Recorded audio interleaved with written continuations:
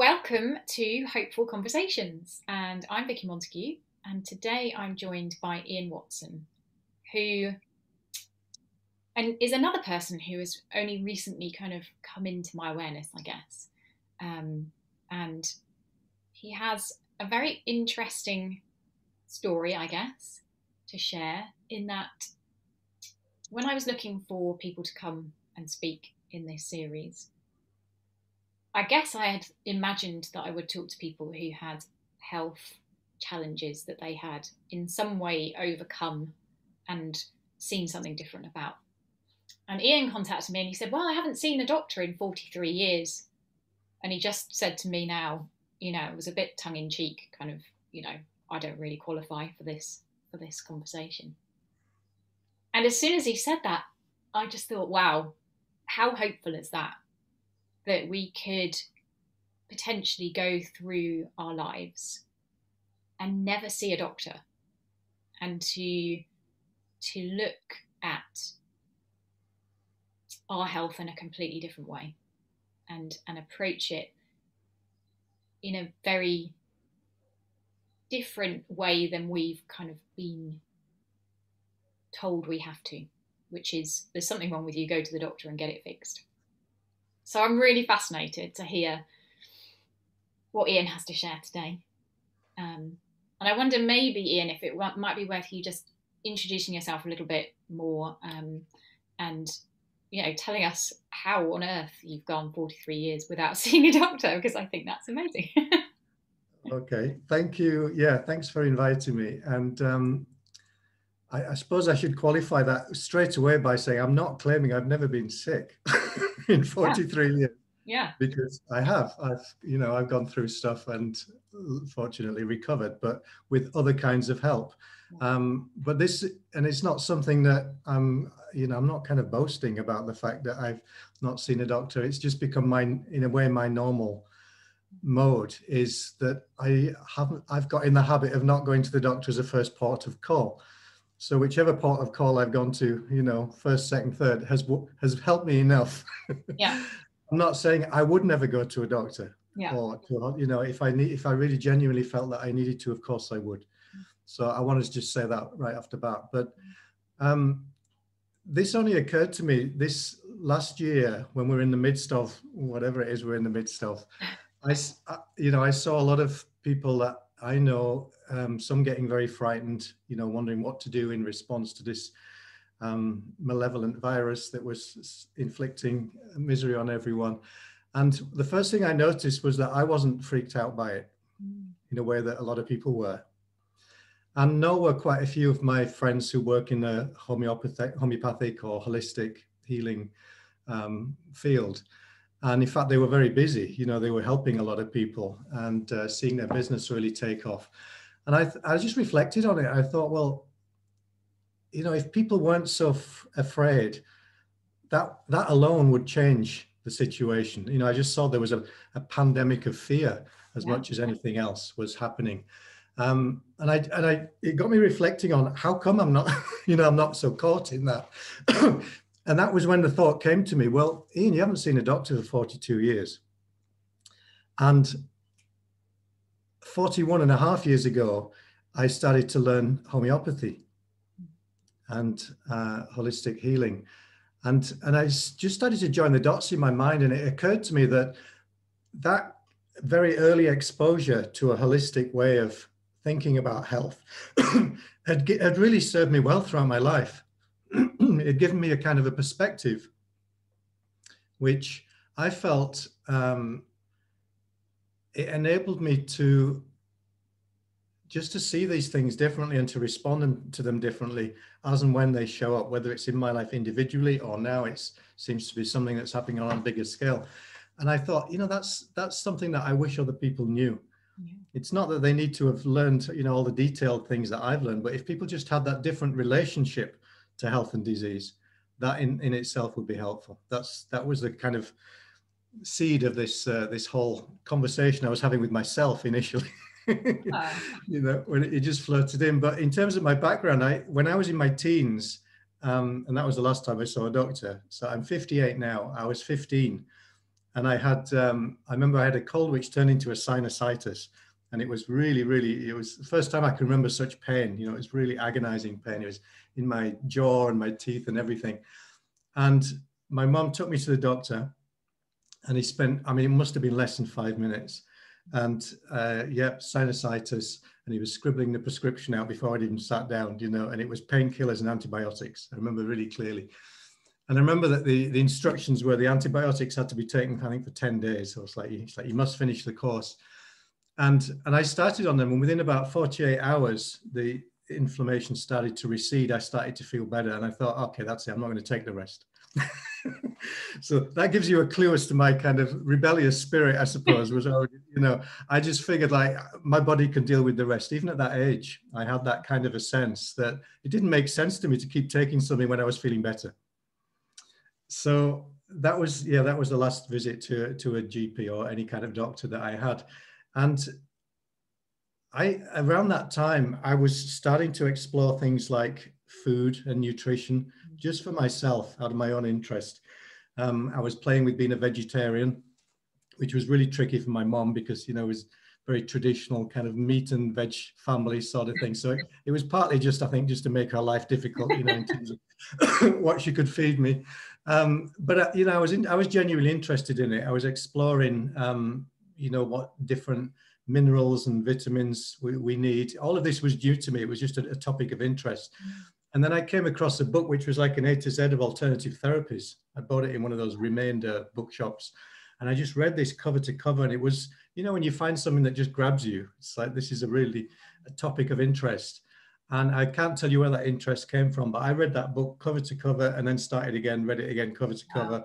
And then I started highlighting the ones that really interested me the most. So, you know, it started at acupuncture and it went through to whatever was at the end. And somewhere somewhere in the middle was homeopathy, which was yeah. what really grabbed me at that time. And um, I just started to acquire knowledge about homeopathy, herbs, um, also flower essences. I, I, bought myself a set of the Bach flower remedies while I was still a teenager. And I started uh, practicing on my mom and my friends, anybody who was open to being a guinea pig. Um, so there was a natural interest there, I think, for me, right? You know, from an early age. And what I started to learn when, when I went into homeopathy, most people who are not familiar with it will maybe at least have heard of something like arnica, you know, remedy for bruises. And you know, they might think that that's great, that's helpful for certain things. And I thought that initially, I thought things like homeopathy were probably helpful for certain things, but then there'd be lots of other things where you'd need real medicine. Yes. You know, yes. a, a, lot of people still have that that attitude. Yeah. What I discovered when I when I finally went to train, I discovered you could actually train to be a homeopath. This was years later when I was uh, 20, 21. So I'd been studying it kind of privately, my secret hobby for a few years thinking that it was something that had died out because all the books were very old. You know, they were written a century ago. And then by a series of amazing random coincidences, I actually bumped into someone who, um, when he took his jacket off, he's wearing a sweatshirt that said College of Homeopathy. And it's like the eyes nearly popped out of my head. and uh, I was like, there's a College of Homeopathy. Where is it? Wow. He said, yeah.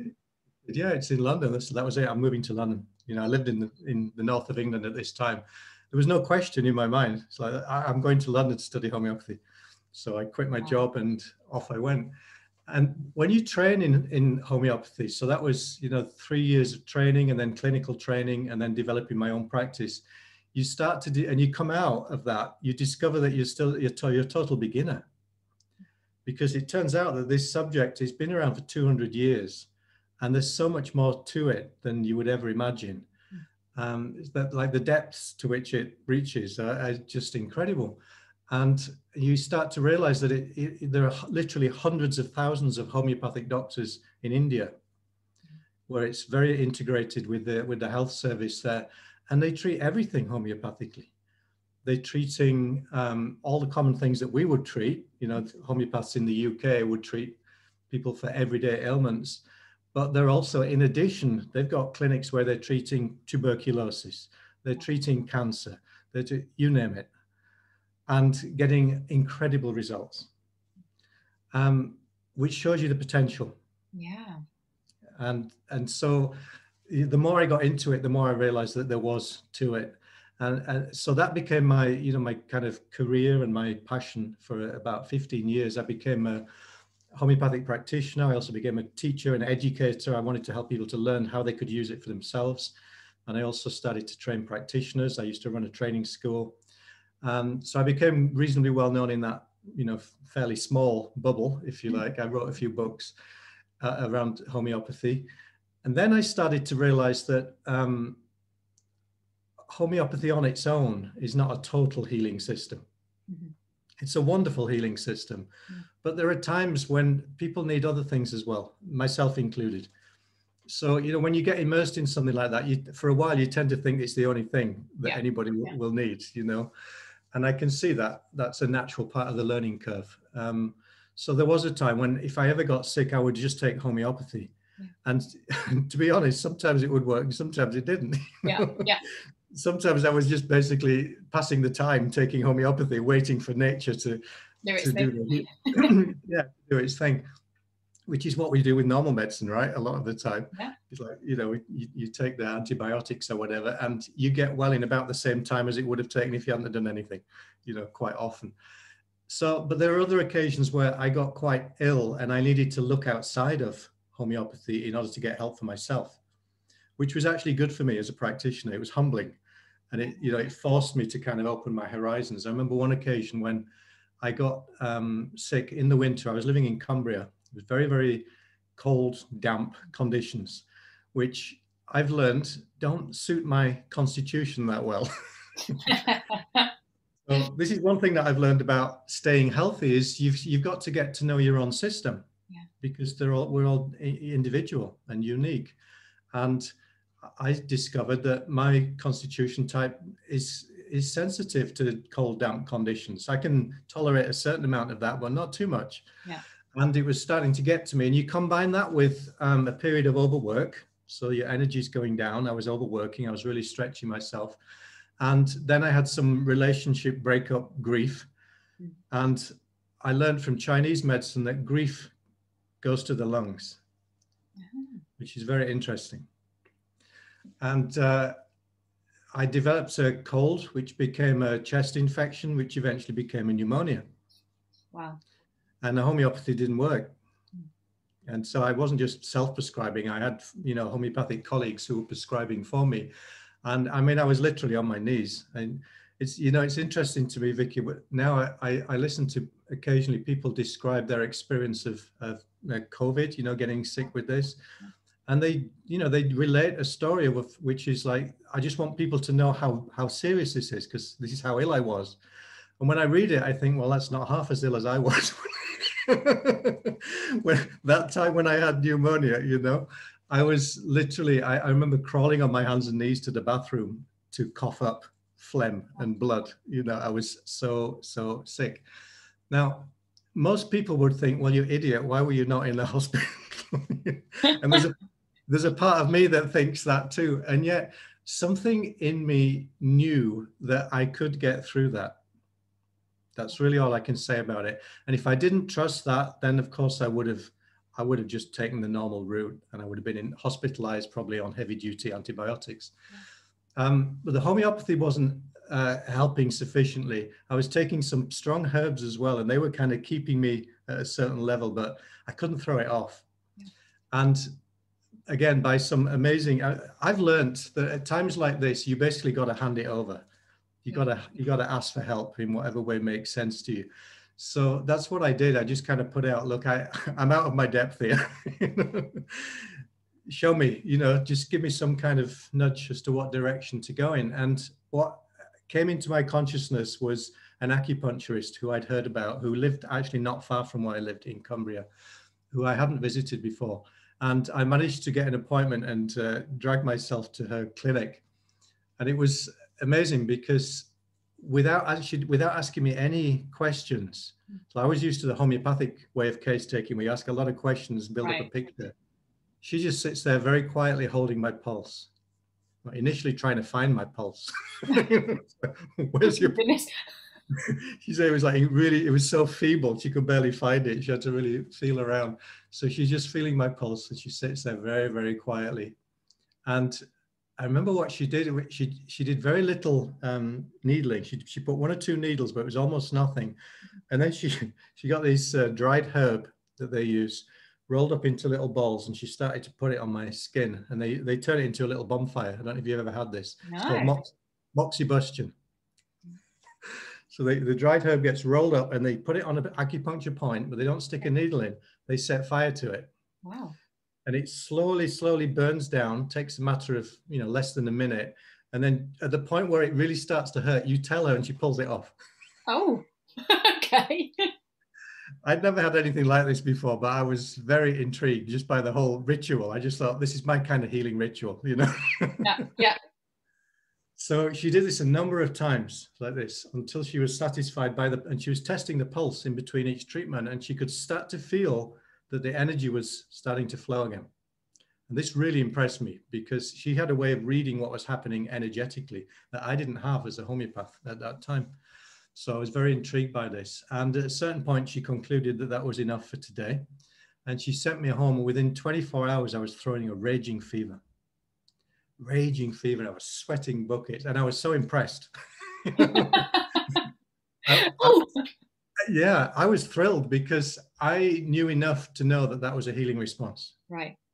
And I've, you know, I've seen similar things happen when I've given homeopathic remedies to people. Mm. If someone's been in the midst of an acute and the, the body's been struggling to throw it off, sometimes that's what will happen when a person takes a good homeopathic remedy is that the suddenly the energy starts to move the temperature goes up and or there's some kind of elimination sweating or something of that kind. So i had everything. I had sweating fever the whole thing.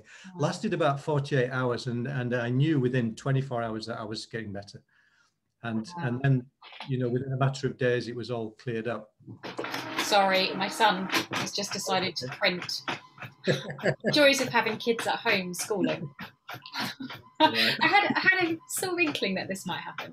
I'm kind of impressed that the um, that this has actually stayed going, but you know, I'll cut this bit out clearly. Right, hopefully that's it. okay, I'm just going to put it outside the door actually. uh, what fun, kids at home. Sorry. Right. So you were better after. Yeah, I got, I, I got better from the from the acupuncture, well, the moxibustion treatment, and the the, the Chinese medical understanding that um, this practitioner had. So that opened my whole my eyes to the the power of being able to diagnose energetically what was going on, um, and I that led to a whole new course of interest and study for me. But also subsequent to that, I I was noticing in my practice that a lot of people that I worked with who came to me initially as a kind of substitute GP. You know, a lot of people come to homeopathy or things like that because the doctors hasn't been able to help them. You know, it's only helped them up to a point. So we'd start off by working with someone's migraine or, you know, menstrual pain or whatever it happened to be. But then with a significant number of those people, as I got to know them, then they would start to reveal that they were also struggling with other things and in other ways and it often included uh, a psychological and emotional component. Right. Um, and that was something that was also, you know, that was something that I was up against too. You know, I struggled also emotionally, psychologically from time to time, and I felt that the just the things that I'd learned as a homeopath on their own were not sufficient. Mm-hmm. I wanted to be able to help on a deeper level in a more sustainable way. So that set me on a whole journey of um, learning again for about another eight or nine years so I, the, the homeopathy actually gradually fell away from my practice and I started to learn and incorporate um, ways of working with people for what I called emotional release. Mm-hmm. I just saw that most people who are struggling internally, let's say, mm-hmm. they're struggling with how they feel emotionally. They want to feel different. They want to feel how they used to feel or how they know they could feel. And they're not feeling that, you know, they're feeling some other way. So I, I tra- I retrained in a number of different disciplines to try and help people psychologically and emotionally. And I did find things that were helpful um, along the way, but again, they were all kind of partial, and I felt like I was piecing it together. So it's been an ongoing journey. Um, and then you know, more recently, I've learned some things that are more helpful in that area, which you know about as well, um, which uh, goes under the name of three principles understanding or the inside out understanding, learning about how our psychologically emotional experience actually gets created. Mm. That was a missing piece for me, which has proven to be so, so helpful. Um, so I, uh, interestingly now in in the light of this last what's happened this last year, I feel like I've kind of come full circle because I'm now sharing homeopathy again. I started to teach some classes just just for fun initially. I thought it'd be a fun thing to do, and I thought it might be helpful and reassuring for people to know that they could have remedies in the home, you know, that they could use. Uh, and I've been amazed at the response. It's just been way beyond what anything that I expected in terms of the number of people who've been interested.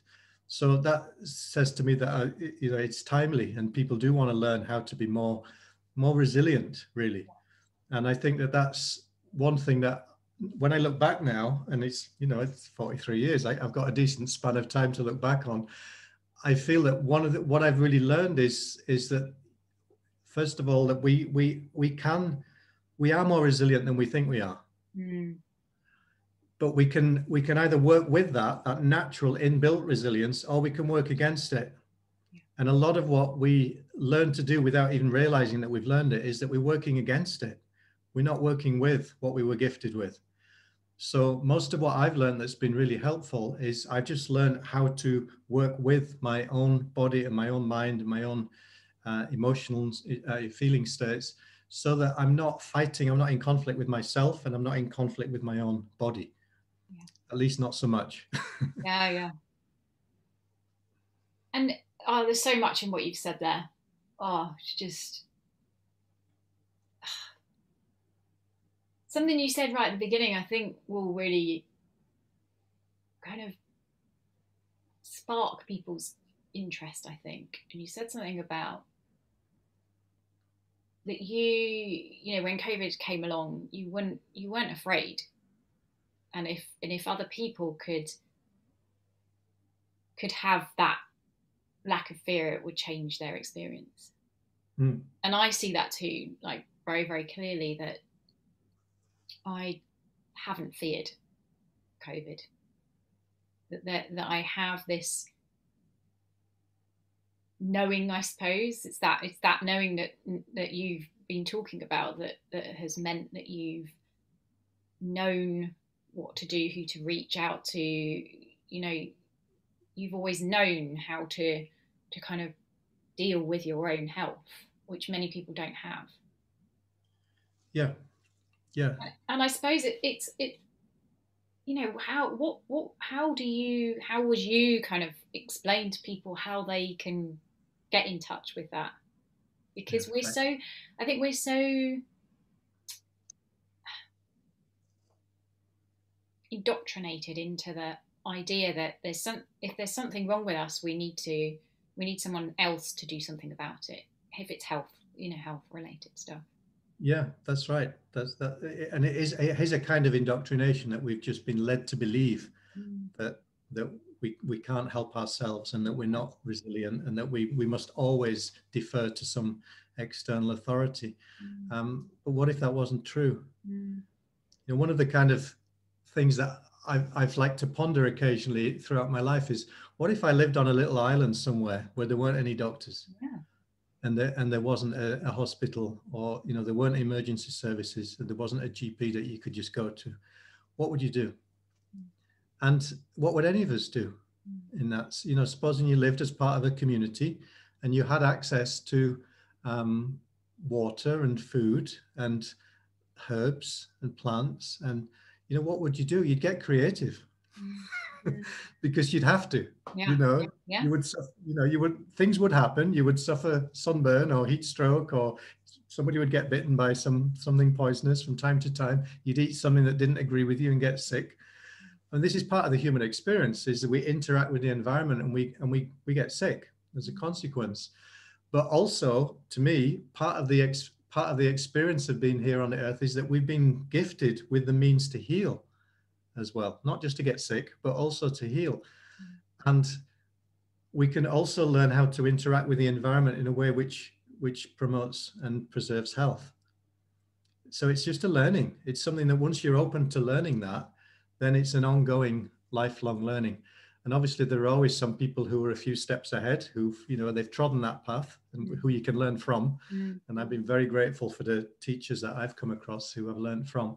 And then, you know, it's a knowledge that can be passed on, which is how I would say traditional societies have always done it. There will be people who are like the keepers of that knowledge who then pass it, they make sure, they make it their business to make sure that it's passed on before they die so that that, that knowledge stays alive. You know, it's a living tradition. Um, and unfortunately, that chain has been broken, you know, in a lot of our culture right now, but not completely. Yeah. I don't think completely. So there are little shoots of it still. And it doesn't take much, you know, when someone someone's interest awakens and they discover, you know, they start to discover that that they can do something for themselves or you know the first time that if someone gets a homeopathic kit in the home maybe as a new parent you know it's natural to be anxious about your kids when they're sick but as a new parent if you've got a remedy kit and you one day you, you tentatively try it out you know before the antibiotics you think well i'm just going to give it 24 hours and i'll give them belladonna first and you see it work you know? That's like a miracle. Yeah. It's yeah. and it's and, but that that experience it gives you so it deepens your faith yes. and your trust in what's possible. So the next time you're more likely to go in that you know in that direction first as a first resort. It's like well it was great here. What about here? Maybe it can help with this as well. So that's how it you know you just got to start where you are basically. Yeah and there's and, and you know there's so much empowerment in that. I think for me um the first thing i kind of came across in that sort of area was uh, essential oils.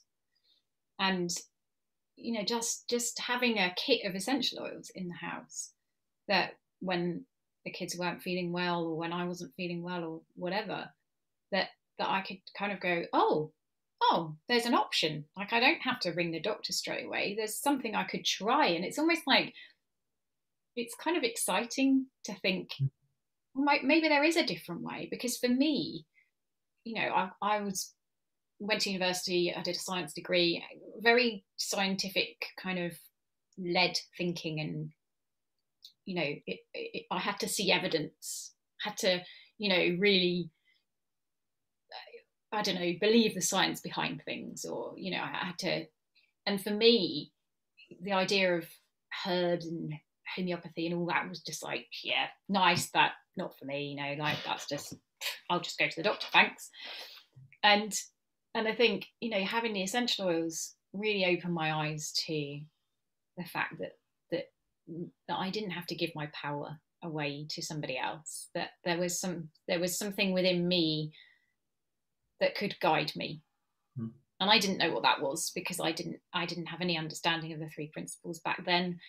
But it was just this um yeah, real natural sort of well that essential oil feels like the right thing for me today. Like I, I've got a bit of a cold, so I'm going to go for that. And that, it doesn't seem like much, does it? No. That, that inner knowing, let's call it that, it seems almost insignificant, yeah. and yet that's the crucial ingredient. Yeah. And it turns out we all have it. Yeah. And as you said, the more that you, the more you kind of experiment with that, the more open you are to the idea that mm, maybe I do know some stuff that I don't think I know, or you know, how would I know? Because for me, it was always like, well, how would I know that? Because nobody's taught me that, so I poss- I can't possibly know that. Whereas now I'm much more kind of, well, I don't know how I know this, but that feels like the right thing to do. I'm going to give it a try. It's that openness to to there being an, a different way from that which you've been told, I guess. It is, and it's also recognizing that there's a diff, there's a gulf of there's a huge difference between knowledge, as in the, as in information, yeah. versus knowing. Yeah. So the knowledge is uh, external, which I mean, it's not to say that it's not valid, and sometimes it's very useful, but it's a different thing. It's in a different category, and what we what I'm talking about here, and what we're talking about is inner knowing, is an is an underused faculty mm. in Western society. But it's something that traditional societies have relied on more than anything else, and that we still have the capacity to rely on. And in fact, I would say in current times, it might be the only thing we got that's going to get us out of this mess. really. And I remember, excuse me, years ago, I remember reading the books of Carlos Castaneda. Don't know if you ever read any of any of his books. There's a lot of them, but right. he was uh, he was an anthropology uh, PhD anthropology student um, in California, and he decided to go to Mexico and try and study what the shamans, you know, he, he, he, was looking to find a shaman who he could study some of their, you know, ways of life and practices and so on. And kind of unbeknownst to him, he kind of got tricked into becoming the shaman's apprentice. Brilliant. So he underwent, you know, basically his own shamanic journey under the guidance of his tutor, who he nicknamed Don Juan and uh, and it led to many many books recounting the, the, the story. Some people claim it was a fictitious story. It may have been. I don't know. But if it was, he, he had an amazing capacity to tap into some you know knowledge that was beyond his own imagination. But I remember one of the one of the tasks that his teacher set him early on was they went they went hiking out in the hills, and his and he gets to a point of exhaustion more or less, and the teacher says to him You've got to go up right to that kind of place where there's these flat rocks and you've got to find the power spot in the landscape. He's he's an intellectual, this guy. This, you know, he's a PhD student. He's like, what the hell is he talking about? You know, power spot. How am I supposed to know? You know, where's it marked on the ground? Yeah. He wouldn't tell him anything else about it other than there's a power spot. Your job is to find it. Wow. And he leaves him to stew in his own juices, you know, for a couple of days. And uh, he drives himself crazy trying to figure it out. And of course, he, he doesn't succeed. And eventually, he just gives up in despair and literally collapses with exhaustion. And when he finally wakes up, Don Juan sat next to him, laughing his head off. It's like, I see you found the spot. Wow. which of course drove him crazy because he didn't know how. He didn't know how, but yeah. he he didn't he didn't even know whether to believe that this was the spot. Yeah, you know? yeah, yeah, yeah. He just saying that could I have collapsed anywhere, and that would have been. You know? but this was his introduction to a different way of discovering and, and a different way of knowing, and also what he was introducing him to was the fact that we can interact with the landscape that we're not separate from it Mm. We can interact with the environment. And if we open ourselves to that possibility, it has it's rich in wisdom and intelligence and because we're part of that. You know, we come out of the same landscape and we can there's there's a way that we can open ourselves to it and be informed by it. And it and it can inform us in a lot of different ways. And to me, I think that's that's what I would really um, credit my own ability to navigate my own health is, is really to do with that. It's I've learned to listen to what things are not so good for me. Yeah. You know, like I said to you, like the cold, damp climate. I just there was a certain point I just knew I needed to leave Cumbria. Yeah. you know, there were things I could do to mitigate it, you know, to kind of keep myself healthy despite the fact that I didn't really like the climate. But then there's a certain point where you realize actually, no, I need to move somewhere that's just a bit milder climate. It's not quite so so damp um, there are things like that that where you realize there are maybe things that you've been eating that don't really agree with you mm. um, or you know you, you fall into a habit of eating or drinking or you know just doing certain things at a certain point it just starts to dawn on you you don't feel so good after you do that you know and you hadn't noticed before yeah but when you stop and pay attention you, you just start to notice it's like my you know, when I go out for and have a few drinks now, my recovery time seems to be getting a bit longer. I remember noticing that, you know, when I grew up, we just used to go out and get blind drunk on a Friday night and a Saturday. That was what everybody did, you know, that I knew. And then there was a point where I realized that I wasn't doing it so often by this time, but if I did drink a bit more than was, you know, was was good for me, I really suffered for it afterwards in a way that I didn't used to. But I paid attention to that. I didn't override it. You yeah. know, I didn't just yeah. take, I didn't, I didn't just take things to get over the hangover. yes. Yeah. you know, I actually played it. I realized I need to stop doing that. My body doesn't seem to like it. So I'm that's that to me is when you know you, you just naturally modify your behavior and you and you come back more into alignment with what would be healthy for you now at this stage in your life. And it changes, you know, as we go through different stages of our life. I love that, that the, the whole idea that you know what was what was good for us a week ago or even a day ago doesn't have to be the thing that's good for us today it's that really like you say really connecting in really tuning into what our body's telling us and not dismissing it because it's so easy to get into that habit of um,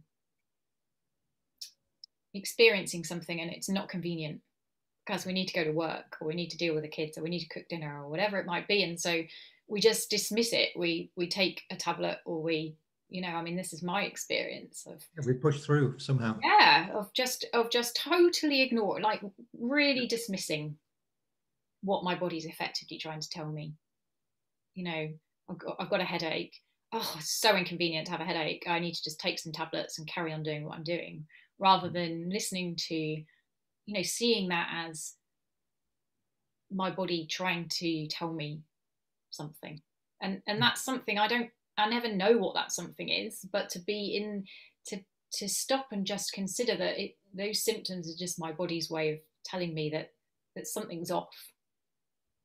Even if i just stop for 5 minutes to consider that rather than reaching for the tablets i'm not dismissing i'm not i'm not overriding what my what my body and my experience is telling me that's it you, you, as soon as that little shift has occurred you, you've you've changed your relationship to your body and yeah. and the intelligence that's behind it. You know we stop seeing it as just a pesky symptom that you want rid of. Yeah. And you start going oh maybe it's maybe it's telling me something helpful. Yeah. i wonder what that is. You know you get open to learning. Mm. And as soon as we open ourselves to learning, it's like this, there's, there's this library available to us, which is internal, which is incredible. And it's, it's a lifelong learning. It's, it's ongoing. But I think, yeah, there's, to me, there's two common traps that we fall into. One is that we don't listen to that inner knowing. We override it, as you say. The other is that we do listen to what other people say and yes. do yeah. and tell us. And we think that we should just adopt that because it seems to be working for them. So why wouldn't it work for me? Or they seem to know better than I do. Therefore, I should, you know, just abdicate my own self-responsibility and and do what they're suggesting. That's the other big trap, yeah. is that um, and that's the conditioning aspect that you said earlier, which is we we tend to hand over very very readily the idea to someone else or just to mimic what someone else has done. Um, I mean, another thing that I would that I've occasionally dropped into conversation that kind of shocks people. I've never been on a diet in my life, ever, and I and I'm pretty sure I never will. Yeah, yeah. Who knows? I could change my mind next week, but it's never made sense to me to go on a, any kind of prescribed diet, or the, you know, that what I mean by that is one that you might find in a book or yeah. Yeah. that someone else has. Someone basically has gone through their own healing journey and they've realized something that worked for them mm-hmm. why would that work for me? Yeah. Yeah, and that's so interesting, isn't it? Because how how is it that you I mean I'm really fascinated by you know how is it that you ended up knowing all of this from a, such a young age the you know that there was a part of you that was obviously you know quite loud about the fact that you didn't need to follow the the kind of I don't know set path almost I wasn't really loud. I was kind of quietly stubborn. That's more my more my method, if you like. Um, but yeah, I've been quite um, I've been quite clear, I suppose, about it, and and it feels solid to me. You know, it doesn't feel like something flimsy.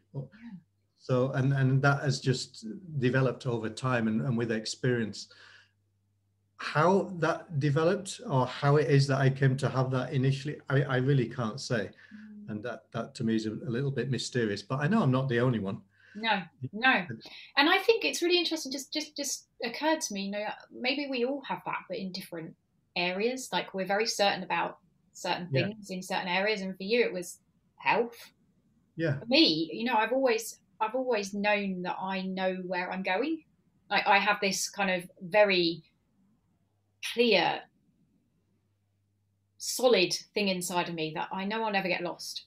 Mm. It's hmm. just a fact, you know.